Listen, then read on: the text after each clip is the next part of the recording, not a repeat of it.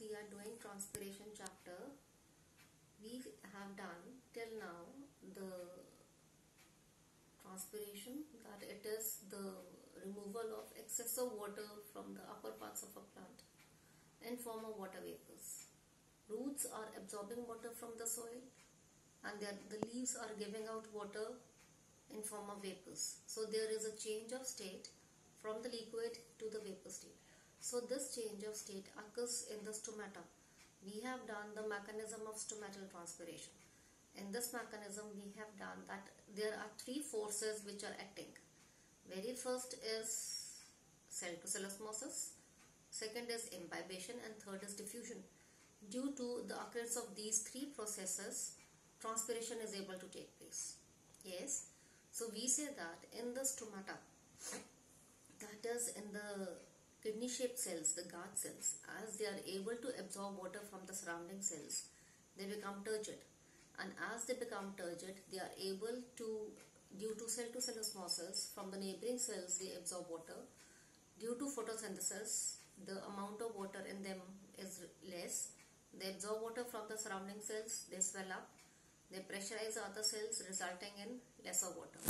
So in the mesophyll cells of the leaf, we say that as the cell cell to cell osmosis is occurring and due to the cell absorbing water from the adjacent cell it becomes swollen. Due to excessive water in it some amount of that absorbed water due to presence of cellulose on the upper surface of the cell wall we say that some water is transferred to the upper surface due to imbibition imbibition is a process in which the hydrophilic colloids. Hydrophilic. Hydro means water, philic is loving.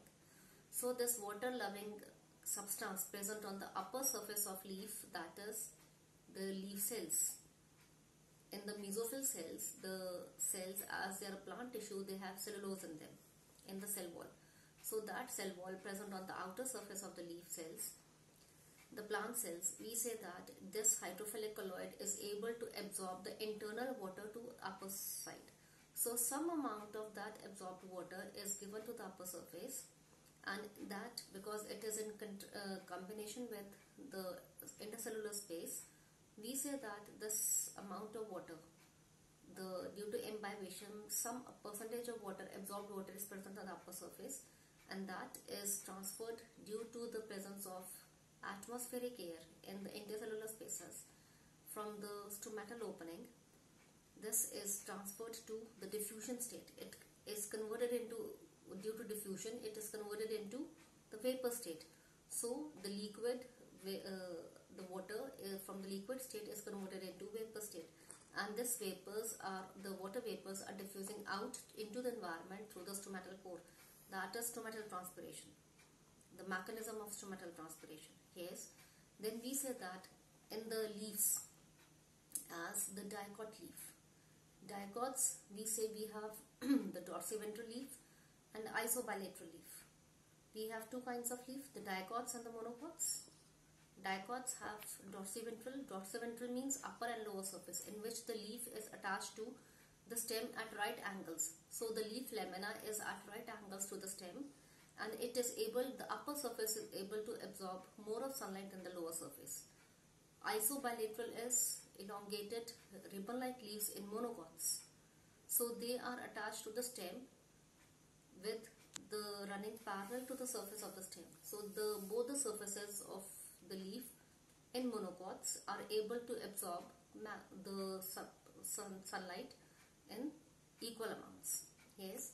So monocots are absorbing sunlight on both the surfaces in equal amounts whereas in dorsiventral leaf in dicots the upper surface being more green in color more thick and shiny on the upper surface is able to absorb more sunlight from the upper surface.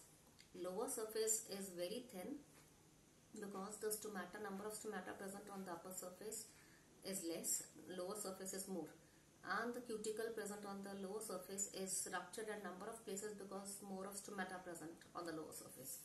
So lower surface is able to transpire more water than the upper surface.